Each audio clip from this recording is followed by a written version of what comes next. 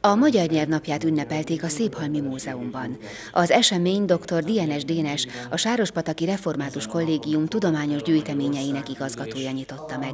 Köszöntőiben arról beszélt, hogy attól a naptól kezdve, hogy megjelent ezen a tájon magyarul a Szentírás, nyelvünk is szenté vált. Ezért legyünk mindannyian a magyar nyelv nemesítői és dicsérői. Anyánk is édes, apánk is édes, az anyanyelvünk is édes, és az a föld is édes, ahol anyánktól és apánktól ezt a nyelvet tanuljuk. Különös ez a viszony. És ugye értjük, hogy mit jelent, amikor azt mondjuk, hogy íme a magyar nyelv is szent.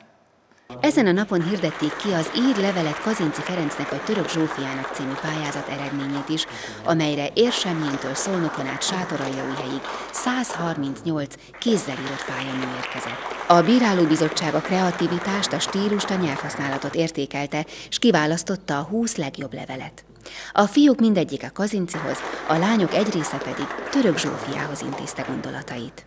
Én Török Zsófiának írtam, azért, mert én lány vagyok, ő nő, gondoltam, bemutatom neki a mai nőket, ebben segített a magyar tanárom, a anyukám is, és végül is én írtam a legtöbbet benne, egy nagyon keveset segítettek csak ők. A magyar nyelv újításáról írtam neki, a fiatalok mai nyelvhasználatáról, ezt kifejtettem, voltam Angliában most áprilisban, kifejtettem az ottani élményeimmel, kiegészítettem.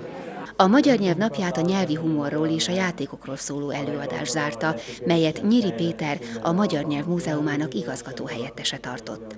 Azt mondta, hogy egy tökéletesen fejlett, mindenre alkalmas nyelv a magyar. Én azt tapasztaltam, tapasztalom, hogy a, a fiatalok igen nyitottak a nyelvi játékokra, a nyelvi humorra, és igen jól értik a, a nyelvi játékokat, a nyelvi humort, maguk is alkalmaznak különféle e, megoldásokat, tehát a humorérzékükkel nincsen probléma, és bizony, hogyha egy nyelvi játékot játszanak, vagy ők maguk találnak ki nyelvi humoros megoldásokat, azzal fejlesztik a saját nyelvérzéküket. Maga az előadás is játékos volt, hiszen megmozgatta a résztvevők nyelvi fantáziáját. Rejtvényeket és titkosírást fejtettek, játszottak a szavakkal és a betűkkel. Így ünnepelték a Magyar Nyelvnapját.